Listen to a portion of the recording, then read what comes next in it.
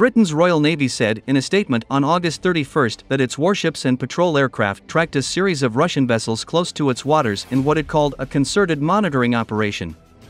The Navy said the HMS Tyne and HMS Portland reported on the movements of Russian Navy vessels alongside Royal Air Force P 8 Poseidon patrol aircraft in the English Channel, North Sea, and North Atlantic.